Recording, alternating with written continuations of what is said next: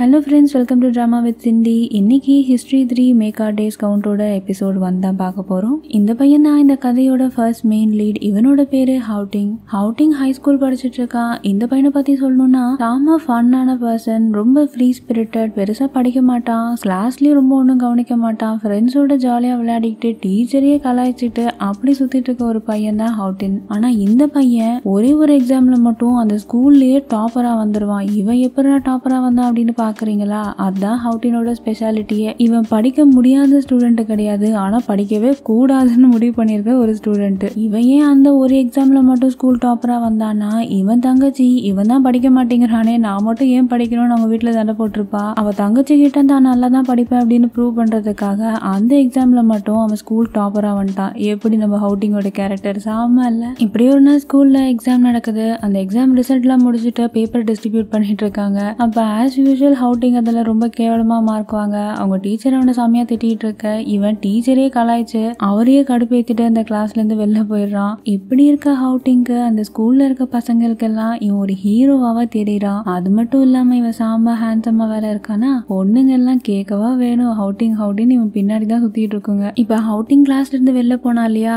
அதோட ஒரு படி தாண்டி போயிட்டு ஸ்கூல் காம்பவுண்ட் சேவர வெளில எகிரி குதிச்சு கேஎஃப்சிக்கு போயிட்டு சிக்கன் வாங்கிட்டு வந்து அவன் ஃப்ரெண்ட்ஸ் கிட்ட கொடுத்து எல்லாரும் உட்காந்து சாப்பிட்டுட்டு இருக்காங்க. இப்போ இந்த ஃப்ரெண்ட்ஸ் கேங்ல யார் இருக்கான்னு பார்த்தீங்களா நம்ம போதா. இவங்க எல்லாருமே சின்ன கிளாஸ்ல இருந்து இப்போ வரைக்குமே ரொம்ப க்ளோஸ் ஃப்ரெண்ட்ஸ் இந்த ஃப்ரெண்ட்ஸ் சர்க்கிள் இருக்க எல்லாரையும் பத்தி நம்ம போக போக கொஞ்சம் கொஞ்சமா பார்க்கலாம் இப்போ இவங்க சிக்கன் சாப்பிட்டுக்கிட்டே இருக்க அப்பா கரெக்டா ஹவுட்டிங்க்கு அவனோட கேர்ள் ஃப்ரெண்ட் கிட்ட இருந்து மெசேஜ் வர இதை பார்த்துட்டு அவனோட ஃப்ரெண்ட்ஸ் டே போடா நீ திரும்பி வரணும்னு அவசியம் இல்லை அப்படின்னு கிண்டல் பண்ணிட்டு இருக்க. ஹவுட்டிங் அங்கிருந்து கிளம்பி போறான். இப்போ ஹவுட்டிங் அவனோட கேர்ள் ஃப்ரெண்டும் அந்த ஸ்கூல்ல இருக்கிற ஒரு குட்டி கிளினிக்ல மீட் பண்றாங்க. ஹவுட்டிங் அந்த செவரேரி குதிச்சா இல்லையா? அதுல அவன் ஷோல்டர்ல கொஞ்சம் அடிபட்டிருக்கு. இதுக்கு அவனோட கேர்ள் ஃப்ரெண்ட் அந்த இடத்துல கொஞ்சம் ஒத்தலம் கொடுத்துட்டு இருக்கா இப்படி ஒத்தலம் கொடுத்துட்டு வேற எங்க வலிக்குது அப்படின்னு கேட்க நம்ம ரொமான்டிக் ஹீரோ ஹவுட்டிங் எனக்கு இங்க வலிக்குது அப்படின்னு அவன் நெஞ்சு மேல கை வைக்கிறான். ஹவுட்டிங் இப்படி கேட்ட உடனே அந்த பொண்ணுக்கு செமையா ஃபீல் ஆயிட்டு இந்த மாதிரி எல்லாம் கேட்காத அப்படின்னு சொல்லிட்டு ஹவுட்டிங் கிட்ட வந்து ரெண்டு பேரும் கிஸ் பண்ண ஆரம்பிக்கிறாங்க. கிஸ் மட்டும் இல்ல அப்படியே கொஞ்சம் ப்ராக்ரஸும் ஆகுது. ஏன்பா இது ஸ்கூலா என்ன இது? என்னமோ பண்ணி தொலைங்க. இப்படி இவங்க ப்ராக்ரஸ் பண்ணிட்டு இருக்க. அப்ப கரெக்டா அங்க இருந்த கர்ட்டனை எவனோ ஒருத்தன் திறக்கிறான் யாருன்னு பார்த்தா இவன் தான் நம்ம கதையோட செகண்ட் ஹீரோ இவனோட பேரு யூ. இப்ப யூ இவங்க ரெண்டு பேரையும் பார்த்துட்டு அப்படியே ஷாக் ஆகி நிக்க. இத ஹவுட்டிங் கேர்ள் ஃப்ரெண்ட் கவனிச்சிடுறா. அங்க பாரு அப்படின்னு சிக்னல் காட்ட ஹவுட்டிங் அவனை பார்த்தோன்னே சாமியா கோவம் வந்துட்டு ஸ்கிரீனை மூடு அப்படின்னு கத்துறான். இவன் இப்படி கத்துன உடனே யூவும் பயந்துட்டு டக்குன்னு அந்த ஸ்கிரீனை மூடிட்டு பக்கத்துல இருக்க பெட்ல போய் அமைதியா படுத்துக்கிறான். இப்ப ஹவுட்டிங் அவனோட கேர்ள் ஃப்ரெண்டும் ட்ரெஸ் எல்லாம் சரி பண்ணிக்கிட்டு அவசர அவசரமா அங்கிருந்து கிளம்ப. இப்படி நல்ல நேரத்துல வந்து கெடுத்துட்டானேன்னு சொல்லிட்டு யூவை பார்த்து முறைச்சிக்கிட்டே ஹவுட்டிங் அங்கிருந்து போறான். இப்ப இந்த யூ யாரு? இவனோட கேரக்டரிஸ்டிக் என்னன்னு ஒரு சின்ன இன்ட்ரோ கொடுக்குறாங்க. யூ தான் அந்த ஸ்கூலோட டாப்பர் எல்லா எக்ஸாம்லயுமே இவன் தான் டாப்பராக வருவான் அவ்வளோ ஒரு ஒபீடியண்டான ரொம்ப நல்லா படிக்கிற ஸ்டூடெண்ட்டு இதனாலேயே யூவை எல்லா டீச்சருக்கும் ரொம்ப பிடிக்கும். ஆனால் யூக்கு அப்பா அம்மா கிடையாது. சொந்த பந்தம் யாருமே கிடையாது. அவன் தானே வேலை செஞ்சு தான் அவனோட ஸ்கூல் ஃபீஸையே கட்டுறான். ஸோ அவனை பொறுத்த வரைக்கும் தான் எப்படியாச்சும் நல்லா படிச்சு காலேஜுக்கு ஹண்ட்ரட் பர்சன்ட் ஸ்காலர்ஷிப்ல உள்ள போகணும் அதுக்கு அவன் கட்டாயமா எல்லா எக்ஸாம்லயும் டாப்பராக வந்தே ஆகணும். இதுதான் அவன் லைஃப்ல இருக்க ஒரே ஆம்பிஷன் இதுக்காக அவன் சரியா சாப்பிடாம கொள்ளாம கூட ஃபுல் டைம் உட்காந்து படிச்சுட்டு பாக்கி இருக்க டைம் எல்லாத்தையும் பார்ட் டைமா நிறைய வேலை பார்த்துட்டு இருப்பான். இதனாலேயே அவனுக்கு சரியா சாப்பிடாதனால ரொம்ப வீக்கா இருப்பான். அடிக்கடி மயக்கம் போட்டும் கீழே விழுந்துடுறான். ஆனா அவன் டீச்சர்ஸ் எல்லாம் ரொம்ப நல்ல மாதிரிங்கிறதுனால அவனுக்கு அப்பப்போ கொஞ்சம் கொஞ்சம் ஸ்நாக்ஸ் சாப்பிட ஐட்டம்லாம் கொடுப்பாங்க. இப்படி ஒரு நாள் டயர்டா இருக்கவே அந்த கிளினிக்ல வந்து படுக்கலாம் தான் அங்க வரான். அங்க வரும்போது தான் இந்த கலவரம் எல்லாம் நடக்குது. ஸோ இன்னும் கரெக்டா சொல்லணும்னா ஹவுட்டிங்கோட அப்படியே ஆப்போசிட் கேரக்டர் தான் யூ. யூக்கும் அந்த ஸ்கூல்ல நிறைய ஃபேன்ஸ் இருக்காங்க. ஒன்னு அவன் செமையா இருக்காங்கிறதுனால இன்னொன்று அவன் பார்க்கவும் கொஞ்சம் நல்லா இருப்பாங்கிறதுனால அவனுக்கு நிறைய ஃபேன் பேஸ் இருக்கு. இந்த ஃபேன் பேஸ்ல ஒரு பொண்ணு தான் நம்ம ஹவுட்டிங்கோட கேர்ள் ஃப்ரெண்டு அவளுக்கு யூ மேல எப்பவுமே ஒரு கண்ணு இருக்கு. ஹவுட்டிங்கோட கேர்ள் ஃப்ரெண்ட் பேரு லிசி. லிசிக்கு ரெண்டு ஃப்ரெண்ட்ஸ் இருக்காங்க. அதுல ஒரு பொண்ணு யூ மேல சாம பைத்தியமா இருப்பா. அவனுக்கு தெரியாம நிறைய போட்டோ எடுத்து வச்சுப்பா. இப்படியோ போட்டோ கலெக்ஷன் எல்லாத்தையும் லிசி கிட்ட காட்டிட்டு இருக்க. இவங்களோட இன்னொரு ஒரு பையன் ஃப்ரெண்டு ஏ ஆனாலும் நீங்க ரெண்டு பேர் ரொம்ப தான் ஹைப் கொடுக்குறீங்க. அவன் பார்க்க ஒன்றும் அவ்வளோ சுமாரா தான் இருக்கான். இப்படி சொல்ல இதுக்கு இவளோட ஃப்ரெண்டு டென்ஷன் ஆயிட்டு டே அவன் சூப்பரா இருக்கான்டா அப்படின்னு சொல்ல லிசி அந்த போட்டோலாம் வாங்கிட்டு இவனுக்கு யாருன்னா கேர்ள் ஃப்ரெண்ட் இருக்காங்களா? அப்படின்னு கேட்க இதுக்கு அவளோட ஃப்ரெண்டு அதெல்லாம் இல்ல அவன் எப்பவுமே தனியா தான் இருப்பான் தனியா தான் படிப்பான் அப்படின்னு சொல்ல இப்படியே பேசிக்கிட்டு யூவோட போட்டோ எல்லாம் பார்த்துட்டு அங்கிருந்து கிளம்பி போறாங்க. இப்ப அடுத்து ஹவுட்டிங்கோட ஃபேமிலி காட்டுறாங்க. ஹவுட்டிங்கோட ஃபேமிலியில அவனோட அம்மா அப்பா ஒரு தங்கச்சி இருக்காங்க. அம்மா எப்பவும் போல ரொம்ப ஸ்வீட்டு அப்பா ரொம்ப ஸ்ட்ரிக்ட் தங்கச்சி ஆஸ் யூஷுவல் எல்லா ஃபேமிலியிலும் இருக்க மாதிரி அப்பா செல்லும். ஆனா எப்பவுமே இருக்கிற தங்கச்சி மாதிரி அண்ணன் பண்ண பண்ற தில்லுமுள்ளெல்லாம் கரெக்டா கண்டுபிடிச்சு எல்லாத்தையும் போட்டு கொடுத்துருவா. இப்ப அதே மாதிரி ஹவுட்டிங்கோட மூஞ்ச பார்த்துட்டு இவன் என்னமோ பிளான் பண்றான் அப்படின்ட்டு என்னடா பிளான் பண்ற அப்படின்னு கேட்க அதெல்லாம் உங்ககிட்ட சொல்றதுக்கு இல்லை அப்படின்னு சொல்லிட்டு இவனுக்கு வச்சிருக்க சூப்பை நீயே இதை கொடுத்து காலி பண்ணுன்னு சொல்லிட்டு அவகிட்ட கொடுத்துட்டு அப்படியே நேராக அவங்க அம்மா கிட்ட போய் இழிச்சுக்கிட்டே நிக்கிறான். அவங்க அம்மா இதை கவனிச்சுட்டு என்னடா ஆச்சு? ஏன் இப்படி சிரிச்சுக்கிட்டீங்க வந்து நிக்கிற? அப்படின்னு கேட்க இப்ப ஹவுட்டிங் கொஞ்சிக்கிட்டே அவங்க அம்மா கிட்ட அம்மா நீ என் செல்ல அம்மா இல்ல அப்படின்னு சொல்ல ஆமா நொல்ல அம்மா. இப்ப என்ன அதுக்கு மேட்ருக்கு வா? அப்படின்னு சொல்ல எனக்கு இந்த மாசம் பாக்கெட் மணியை கொஞ்சம் சீக்கிரமா கொடுத்துருங்களேன் அப்படின்னு கேட்க சரி அந்த கபோர்ட்ல வச்சிருக்கேன் போய் எடுத்துக்கோ அப்படின்னு சொல்ல இதுக்கு அவன் சிரிச்சுக்கிட்டே இந்த பணம் பத்தாதுமா இந்த வருஷம் ஃபுல்லா பாக்கெட் மணி கொடுப்பீங்கல்ல அதுல பாதி எனக்கு வேணும் அப்படின்னு கேட்க இதை கேட்ட உடனே அவங்க அம்மா செம்மையா டென்ஷன் ஆயிட்டு ஏன்டா உனக்கு எதுக்குற இவ்வளவு பணம்? அப்படின்னு கத்த ஐயோ ஏமா கத்துற? அப்பா காதில் விழுந்துற போது மெதுவா பேசு அப்படின்னு ஹவுட்டிங் சொல்ல அது ஒன்றும் இல்லம்மா எனக்கு நின்டெண்டோ ஸ்விட்ச் கேம் வாங்கணும் அதுக்கு தான் பணம் வேணும் அப்படின்னு சொல்ல. இதை கேட்டவங்க அம்மா இன்னும் டென்ஷன் ஆக என்ன ஒரு கேமுக்கு போய் இவ்வளோ எக்ஸ்பென்சிவா செலவு பண்ணுவியா நீ? அதெல்லாம் முடியாது அப்படின்னு கத்துறாங்க. ஐயோ அம்மா தயவு செஞ்சு கத்தாதமா அமைதியா பேச அப்படின்னு மறுபடியும் ஹவுட்டிங் சொல்றான். ஆனா அவங்க அப்பா காதல விழுந்துட்டு டே ஹவுட்டிங் அங்க என்னடா பண்ற இவ்வளவு நேரம்? அப்படின்னு கேட்க அவன் ஏதோ பதில் சொல்றதுக்கு முன்னாடி அவன் தங்கச்சி பாஞ்சிக்கிட்டு வந்து முன்னாடி அப்பா அவனுக்கு கேம் வேணுமா? அம்மா கிட்ட ஐஸ் வச்சு காசு கொடுங்க பாக்குறான் அப்படின்னு போட்டு கொடுத்துட்றான் இதை கேட்டவங்க அப்பா டென்ஷன் ஆயிட்டு ஏண்டா நீ வாங்குற மார்க்குக்கு இப்ப நின்டெண்டோ சுவிட்ச் ஒன்று தான் குறைச்சல் அப்படின்னு சொல்ல. இதுக்கு ஹவுட்டிங் அப்பா மார்க்குக்கும் கேமுக்கும் என்னப்பா சம்மந்தம் இருக்கு? ரெண்டுமே வேற வேறப்பா அப்படின்னு சொல்ல. இதை கேட்டவங்க அப்பா இன்னும் டென்ஷன் ஆயிட்டு ஏண்டா இந்த கேமு அது இதெல்லாம் எதுவும் இல்லாமையே.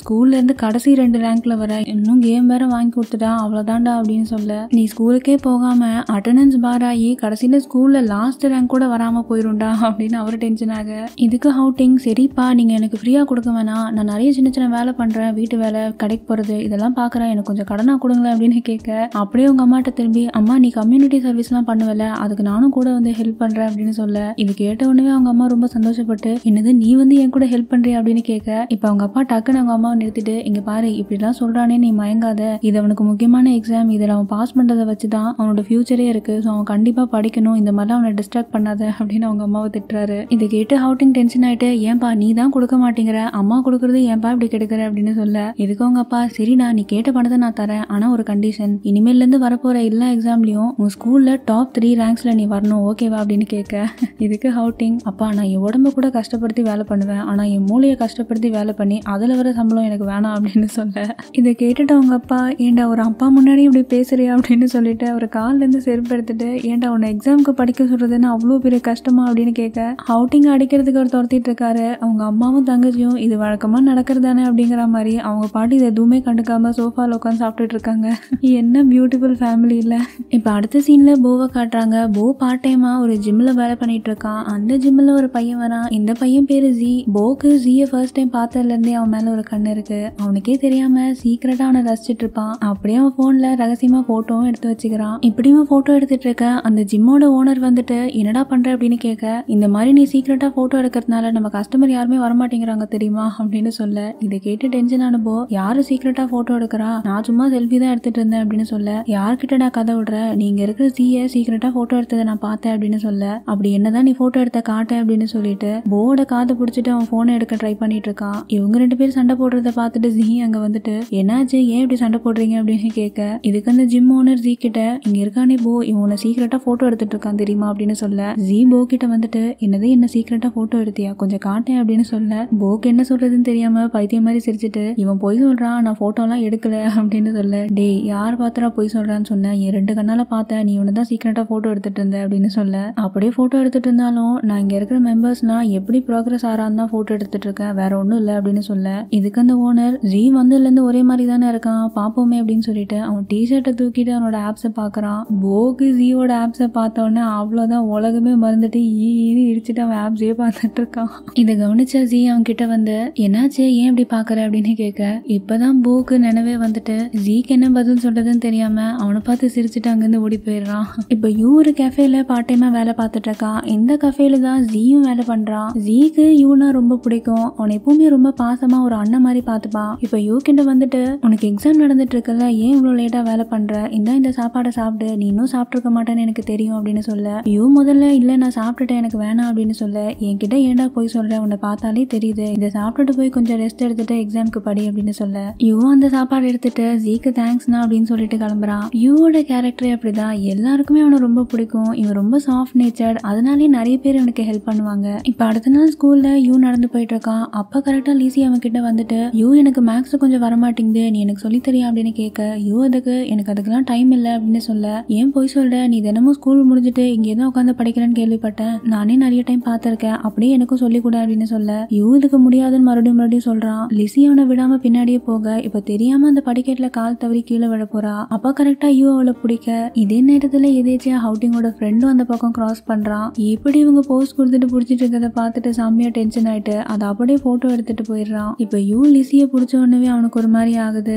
டக்குன்னு கை எடுத்துட்டு அவனுக்கு அதுக்கு மேல என்ன சொல்றதுன்னு தெரியாம அமைதியா போயிடுறான். இப்ப ஹவுட்டிங்கோட ஃப்ரெண்டு இது எல்லாத்தையுமே வந்து அவன் ஃப்ரெண்டு கிட்ட சொல்லிட்டு இருக்க. யாருமே முதல்ல கண்டுக்க மாட்டேங்கிறாங்க. அவன் செம்மையா கடுப்பாயிட்டு ஏன்டா நான் எவ்வளவு சீரியஸான விஷயம் சொல்றேன். ஏன்டா யாரும் நம்ப மாட்டேங்கிறீங்க? இங்க பாரு என்கிட்ட போட்டோவே இருக்கு அப்படின்னு சொல்லிட்டு அந்த போட்டோவை காட்டுறான். இப்பதான் எல்லாருமே நம்புறாங்க. ஆனா ஹவுட்டிங் இதெல்லாம் கொஞ்சம் கூட கண்டுக்காம அவன் பாட்டு சாப்பிட்டுட்டு இருக்கான். இப்ப போ அவன் கிட்ட டேய் ஹவுட்டிங் உன்னோட கேர்ள் ஃப்ரெண்ட் இன்னொரு பையனை கட்டி பிடிச்சிட்டு இருக்காடா அப்படின்னு சொல்ல. யாரா அந்த பையன்? அப்படின்னு கேட்க இவன் தாண்டா யூ நம்ம ஸ்கூலோட படிப்ஸ் எனக்கு தெரியாது அப்படின்னு ஹவுட்டிங் சொல்ல இதுக்கு இவனோட ஃப்ரெண்ட்ஸ் இப்படி தாண்டா கட்டி பிடிச்சிட்டு இருந்தாங்க ரெண்டு பேரும் அப்படின்னு சொல்லிட்டு நடிச்சு காட்டுறாங்க. இதுக்கு போ டே இவங்க நடிக்கிறதே என்னால பார்க்க முடியல நீ எப்படா இதெல்லாம் பார்த்துட்டு சும்மா இருக்க அப்படின்னு கேட்க அதெல்லாம் ஒன்றும் இல்லடா போங்க அப்படின்னு சொல்லிட்டு சாப்பிட்டுட்டு அங்கிருந்து அவன் பாட்டு கேஷுவலாக எழுந்து போறான். இப்போ சாப்பிட்டுட்டு ஒரு குட்டி தூக்கம் போடுவோமேன்னு சொல்லிட்டு அங்க இருக்க கிளினிக்கு போக அந்த கர்டனை மூவ் பண்ணிட்டு பெட்ல படுக்கலான்னு போக அங்க கரெக்டா யூ தூங்கிட்டு இருக்கான். யூவை பார்த்த உடனே ஹவுட்டிங் செம்மையா கடுப்பாயிட்டு இந்த பையன் மறுபடியும் இங்க வந்துட்டானா? அன்னைக்கு செம்மையான மூமெண்ட்டை கெடுத்து விட்டுட்டான். இப்போ என்னடானா என் பெட்லயும் வந்து படுத்துட்டு இருக்கான். இவனை ஏதாச்சும் பண்ணணுமே அப்படின்னு சொல்லிட்டு அந்த பக்கத்துல இருக்க டேபிள்ல ஒரு மார்க்கர் இருக்கு. சரி அவன் மூஞ்சில ஒரு கீரல போட்டு விடணும் அப்படின்னு சொல்லிட்டு அந்த மார்க்கரை தாண்டி எடுக்கிறான். இப்ப மெதுவா அவன் மூஞ்சில கிறுக்க போக அங்க பின்னாடி இந்த கிளினிக் ஒரு டாக்டர் வந்துட்டு ஹவுட்டிங் என்னடா பண்ற? அப்படின்னு கத்த.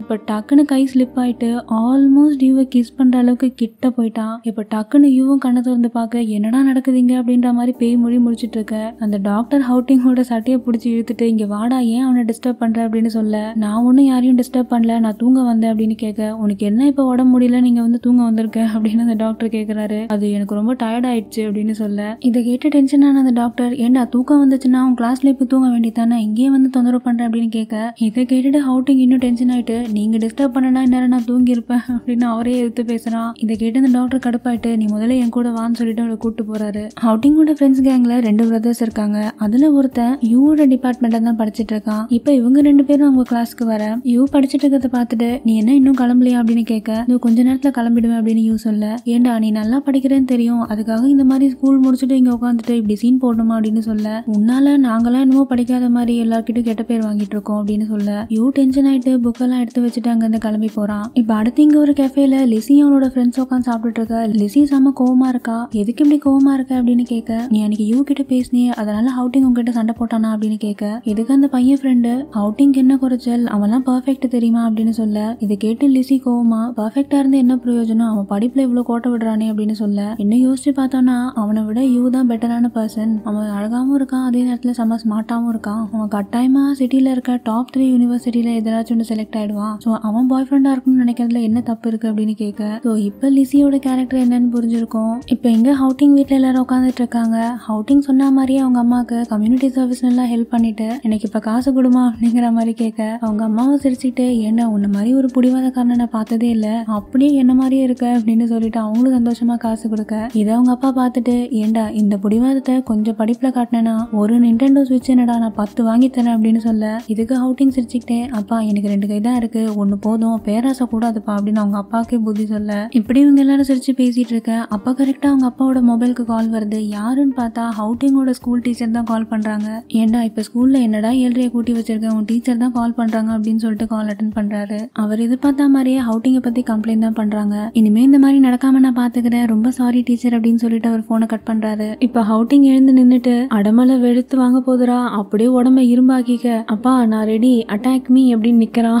ஏண்டா நீ மூணு நாளா கிளாஸுக்கே வரலையாமே? கட் அடிச்சுட்டு எங்கடா சுத்திட்டு இருந்த அப்படின்னு கேட்க. இதுக்கு அவன் தங்கச்சி இப்படிதான்ப்பா அவன் எங்கேயோ பார்ட் டைம் பண்ணிட்டு அந்த காசுல தான் அந்த கேம் வாங்கணும்னு சேர்த்து வச்சிட்டு இருக்கான். இது கேட்டு உங்க அப்பா செம்மையா டென்ஷன் ஆக. வழக்கம் போல அவர் கால்ல இருந்து செருப்பு எடுத்துட்டு ஹவுட்டிங் அடிக்க துரத்துறாரு. இதுக்கு ஹவுட்டிங் அப்பா அவங்களுக்கு வயசாயிடுச்சு ரொம்ப கஷ்டப்படாதீங்க அப்படின்னு சொல்ல அவருக்கு இன்னும் டென்ஷன் ஆயிட்டு அவன் அடிக்க போறாரு. இப்ப அடுத்த நாள் எங்க ஸ்கூல்ல லிசி சும்மா இல்லாம யூ பின்னாடியே போயிட்டு இருக்கான் அவன் எங்க போனாலும் அவன் பின்னாடியே போயிட்டு இருக்கா யூ என்னதான் லிசி அவாய்ட் பண்ணாலும் ஒரு இடத்துல லிசி அவன் கிட்ட இந்த ஜிம் பேக் என்னால தூக்க முடியல எனக்கு கொஞ்சம் ஹெல்ப் பண்றியா அப்படின்னு கேட்க யூவும் சரின்னு சொல்லிட்டு அவருக்கு ஹெல்ப் பண்றான். இதை கரெக்டா ஹவுட்டிங்கோட ஃப்ரெண்டும் பார்த்துட்டு அவனோட ஃப்ரெண்ட்ஸ் கிட்ட போய் சொல்றான். இப்ப லிசி யூவோட கிளாஸுக்கே போயிட்டு நான் இந்த சம்மன் நடத்தமோ தூங்கிட்டேன் எனக்கு கொஞ்சம் சொல்லி தரியா அப்படின்னு அப்படின்னு கேட்க இவவும் சரி படிப்பு தானே அவளுக்கு சொல்லி கொடுக்குறான். இதையும் ஹவுட்டிங்கோட ஃப்ரெண்ட்ஸ் பாத்துறாங்க இப்ப அடுத்த சீன்ல லிசி யூவோட ஜாக்கெட்டை போட்டுட்டு இருக்கா இது எப்படி உங்ககிட்ட கிடைச்சதுன்னு சொல்லிட்டு அவளோட ஃப்ரெண்ட்ஸ் கேட்க நான் குளிர்ச்சின்னு சொன்னேன். அவன் தான் எனக்கு இந்த ஜாக்கெட்டை கொடுத்தான் அப்படின்னு சொல்ல. இது அப்படியே போட்டோ எடுத்து சோஷியல் மீடியால போட போறேன் பாரு அப்படின்னு சொல்ல. இதுக்கு அவன் ஃப்ரெண்ட்ஸ்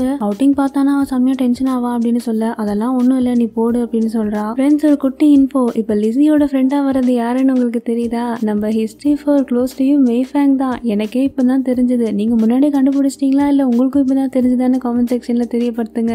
இப்போ ஹவுட்டிங்கோட ஃப்ரெண்டு ஒருத்தன் யூவோட கிளாஸ் ரூமில் படிக்கிறான்ல. அவனோட பேர் டே. இப்போ டே யூ கிட்ட வந்துட்டு என்னோட ஃப்ரெண்ட்ஸ் எல்லாம் உன்னை மீட் பண்ணணும்னு சொல்கிறாங்க கொஞ்சம் வாயேன் அப்படின்னு சொல்லிட்டு யூவை கூட்டிகிட்டு போகிறான் அங்கே போனால் எல்லாரும் லிசியோட அந்த ஃபோட்டோவை காட்டிட்டு நீ எதுக்குடா இவகிட்ட உன்னோட ஜாக்கெட்டை கொடுத்த? அப்படின்னு கேட்க யூ அதுக்கு அவளுக்கு குளிருதுன்னு சொன்னா அதனால தான் கொடுத்தேன் அப்படின்னு சொல்ல ஒரு பொண்ணுக்கு உன்னோட ஜாக்கெட்டை கொடுத்தா அதுக்கு என்ன அர்த்தம்னு உனக்கு தெரியுமா? அப்படின்னு கேட்க யூ அது கோமா இதெல்லாம் ஏன் என்கிட்ட கேட்குறீங்க லிசி கிட்ட போய் கேளுங்களேன் அப்படின்னு சொல்ல இப்போ டேவோட பிரதர் இங்க இருக்கா இல்லையா? அவனோட பேரு என் என் யூ கிட்ட. என்னடா நான் பாட்டு பேசிக்கிட்டே இருக்கேன்? நீ என்னமோ தெனாவட்டா பதில் சொல்றேன்னு சொல்லிட்டு யூவை போட்டு அடிச்சிடுறான் யூ ஏற்கனவே வேற வீக்கா இருப்பான். அவன் ஆஸ் யூஷுவல் சாப்பிடாம இருக்கிறதுனால வலி தாங்க முடியாம அவன் கீழே அப்படியே உட்காந்துடுறான் இப்ப யூக்கு வயிறு வலி தாங்க முடியாம மெதுவா கிளாஸ்க்கு நடந்து வந்துட்டு இருக்க. அவன் கிளாஸ்க்கு ஆல்ரெடி லேட்டா போறான். இது பார்த்துட்டு அவனோட டீச்சர் ஏன் இப்படி லேட்டா வர அப்படின்னு கேட்க எனக்கு வயிறு வலிச்சது அதான் அப்படின்னு சொல்ல. மெதுவா போய் அவன் டெஸ்க்ல உட்காரான்னு போக அவனால நடக்க கூட முடியாம அப்படியே டீச்சர் மேலேயே விழுந்துடுறான். நீ ஓகேவா யூ? அப்படின்னு கேட்க பரவாயில்ல அப்படின்னு சொல்லிட்டு எழுந்து போய் டெஸ்க்ல உட்காந்துடுறான் இப்ப கிளாஸ் முடிஞ்ச உடனே டீச்சர் கிட்ட வந்து சார் நான் இன்னைக்கு கிளாஸுக்கு லேட்டா வந்ததை. தயவு செஞ்சு அட்டண்டன்ஸ்ல மென்ஷன் பண்ணாதீங்க அப்படின்னு சொல்ல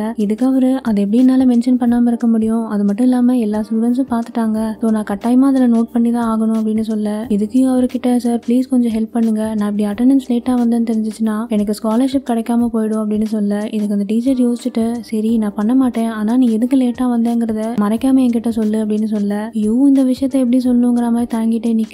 வேற வழி இல்லாம அவன் அடி வாங்கின விஷயத்த அவர்கிட்ட சொல்லிடுறான். இப்போ எங்கள் கிளாஸ் ரூம்ல ஹவுட்டிங் அவன் கிட்ட இருக்கிற எல்லா பணத்தையும் காட்டிட்டு நமக்கு நல்லா பணம் சேர்ந்துருச்சுடா இன்னைக்கு சாயங்காலமே போயிட்டு அந்த நின்டெண்டோ ஸ்விட்ச் கேமை வாங்கிடலாம் அப்படின்னு சொல்லிட்டு ஜாலியா சிரிச்சிட்டு இருக்காங்க. அப்ப கரெக்டா அங்க ஒரு பையன் ஓடி வந்துட்டு அவுட்டிங்கோட ஃப்ரெண்ட்ஸ் எல்லாம் கூப்பிட்டுட்டு உங்க எல்லாரையும் பிரின்சிபல் ஆஃபீஸில் கூப்பிடுறாங்க அப்படின்னு சொல்றான். இப்ப அடுத்த சீன்ல லிசி ஹவுட்டிங் கிட்ட வந்துட்டு ஹவுட்டிங் உனக்கு யூ மேல கோவம் இருந்ததுன்னா அதுக்குன்னு இந்த அளவுக்கா போவ? அப்படின்னு கேட்க என்ன சொல்ற? எனக்கு ஒன்றும் புரியல அப்படின்னு சொல்ல. நீ சொல்லி தானே உன் ஃப்ரெண்ட்ஸ் எல்லாரும் யூவை போட்டு அடிச்சாங்க அப்படின்னு சொல்ல. அதெல்லாம் நான் யார்கிட்டயும் எதுவும் அடிக்க சொல்லல. அப்படின்னு மறுபடியும் மறுபடியும் சொல்லிட்டு இருக்கான் இதை நம்பாத லிசி நீ சொல்லாம அவங்க எப்படி பண்ணுவாங்க அப்படின்னு கேட்க ஹவுட்டிங் இதை கேட்டு கோவம் வர இங்க பாரு நான் அடிச்சேன்னா அடிச்சேன்னு சொல்லிடுவேன். நான் அடிக்கலைன்னா அடிக்கலன்னு தான் என்னால சொல்ல முடியும் அப்படின்னு சொல்ல. இப்ப லிசி அவன் கிட்ட சரி இந்த விஷயத்த விடு. நீ என்கிட்ட கொஞ்ச நாளா எப்படி நடந்துக்கிறேன்னு அதை பத்தி உங்ககிட்ட பேசணும்னு தான் வந்தேன். நீ என்ன கேர்ள் ஃப்ரெண்டா நினைக்கிறியா இல்லையா அப்படின்னு கேட்க அவுட்டிங் இதுக்கு இப்ப என்ன சொல்ல வர அப்படின்னு கேக்குறான். இதுக்கு லிசி மெதுவா அவன் கிட்ட எனக்கு யுவ பிடிச்சிருக்கு அப்படின்னு சொல்றா. அவுட்டிங் லிசிய பாத்துக்கிட்டு என்ன சொல்றதுன்னு தெரியாம கோவப்பட்டுட்டு அங்க இருந்து கிளம்பி போயிடுறான். இப்ப ஸ்கூல் மேனேஜ்மெண்ட்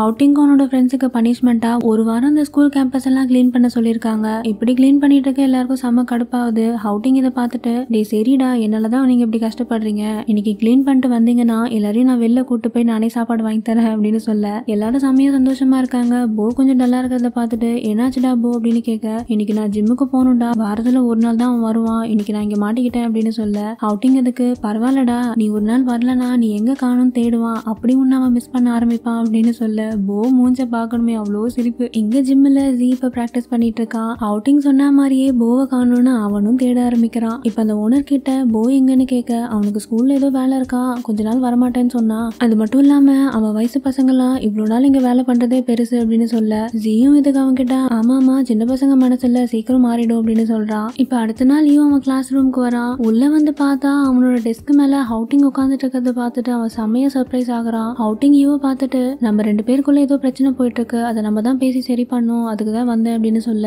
கிளாஸ் முடிஞ்ச உடனே ஸ்கூலுக்கு பின்னாடி வந்து என்ன மீட் பண்ணுன்னு சொல்லிட்டு அப்படியே நடந்து போகும்போது யூ இடிச்சிட்டு போறான். இவன் போறதே பார்த்துட்டு யூ இன்னும் இவன் என்ன பிரச்சனை பண்றானோ? அப்படிங்கிற மாதிரி யோசிச்சுட்டு இருக்கான். இப்ப அடுத்தங்க கிளாஸ் ரூம்ல ஹவுட்டிங் இவன் ஃப்ரெண்ட்ஸ் கிட்ட இந்த விஷயத்த எல்லாத்தையும் சொல்றான். இப்ப அவன் ஃப்ரெண்ட்ஸ் உனக்கு ஓகே வாடா நாங்களும் கூட வரோமே. நீ மட்டும் ஏன் தனியா போய் அவனை மீட் பண்ற? அப்படின்னு கேட்க டே இந்த விஷயத்த நீங்க தலையிடாதீங்க. நான் பாத்துக்கிறேன். அதெல்லாம் சரி. அவன் கிட்ட போய் என்னடா பேச போகிறேன் அப்படின்னு கேட்க என்னடா பேச போகிறேன் என்கிட்ட சாரி கேளுன்னு சொல்லுவேன். அவனும் சாரி கேட்பான் அப்படியே வந்துடுவேன் இதுவே ஒருவேளை அவன் பொண்ணா இருந்துச்சுன்னா அவன் கூட ஃப்ரெண்ட் ஆகிறதுக்கு லைட்டா சான்ஸ் இருக்கு. இவன் கிட்ட ஃப்ரெண்ட் நான் என்னடா பண்ண போறேன் அப்படின்னு கேட்க இவங்க எப்படி பேசிட்டு இருக்க போக்கும் இதுக்கும் சம்மந்தமே இல்லாத மாதிரி அவன் ஒரு ட்ரீம்ஸ்ல இருக்கான். இதை கவனிச்சுட்டு ஹவுட்டி அவன் கிட்ட வந்து என்ன போ ரொம்ப குஷியோ? அப்படின்னு கேட்க போ அப்படியே சிரிச்சுக்கிட்டு ஆமாண்டா அப்படின்னு சொல்றான். இப்படியே எல்லாரும் போவை கலாய்ச்சிட்டு இருக்காங்க. இதெல்லாம் எங்க நடக்குது? இங்க கிளாஸ் ரூம்ல அங்க பாவம் ஒரு அப்பாவி டீச்சர் உயிரை கொடுத்து பாடம் நடத்திட்டு இருக்காரு. ஆனா ஃப்ரெண்ட்ஸ் இந்த கலாட்டாலாம் பண்ணனா அப்புறம் ஸ்கூல் லைஃப்பில் என்ன த்ரில் இருக்குல்ல? இப்போ ஸ்கூலும் முடிஞ்சிட்டு ஹவுட்டே யூக்காக வெயிட் பண்ணிட்டு இருக்கான். அவனும் வெயிட் பண்ணுறான் வெயிட் பண்ணுறான் நைட்டும் ஆயிடுது. இப்படி தான் பொறுமையாக சொல்லியும் யூ வரலன்னு நினச்சிட்டு ஹவுட்டிங்க்கு சாமியாக கோவம் வருது. அவன் எப்படியும் கிளாஸ் ரூமில் தான் இருப்பான்னு சொல்லிட்டு நேராக கிளாஸ்க்கு போகிறான் அங்கே போனால் அங்கே ஏதோ ஸ்பெஷல் கிளாஸ் நடந்துட்டு இருக்கு. அவங்க டீச்சரும் உள்ளே இருக்காங்க.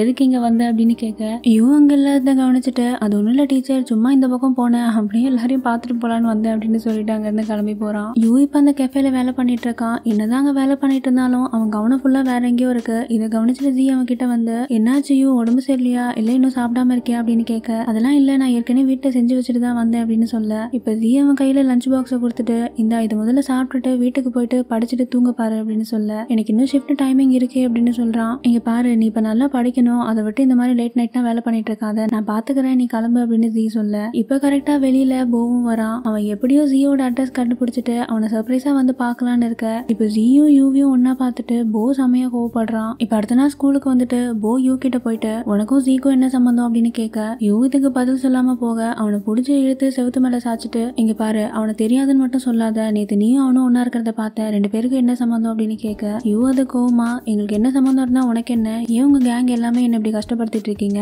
என்ன விடுன்னு சொல்லிட்டு அங்கிருந்து கிளம்பி போக போக்கு இன்னும் கோவம் வந்துட்டு யூவை பிடிச்ச இழுத்து அந்த செவத்து மேல சாச்சிட்டு அவனை அடிக்க போறான். இந்த சீனோட இந்த எபிசோட் முடியுது. இப்படி எல்லாருமே யூ அட்டாக் பண்ண ஃபர்தரா ஹவுட்டிக்கும் யூக்கும் என்ன நடக்கும்? போக்கும் ஜீக்கும் என்ன நடக்கும்? இது எல்லாமே வர வர எபிசோட்ல பார்க்கலாம் போக போக எபிசோட்ஸ் எல்லாம் வேற லெவல்ல இருக்கும் ஃப்ரெண்ட்ஸ் ஐ பெட் நீங்க எல்லாருமே என்ஜாய் பண்ணுவீங்க. இந்த வீடியோ பிடிச்சிருந்தா லைக் பண்ணுங்க கமெண்ட் பண்ணுங்க. அடுத்தடுத்த வீடியோ பார்க்கறதுக்கு மறக்காம நம்ம சேனல் சப்ஸ்கிரைப் பண்ணுங்க. நெக்ஸ்ட் வீடியோ நான் மீட் பண்ணலாம். Until then stay safe be happy have love cheers bye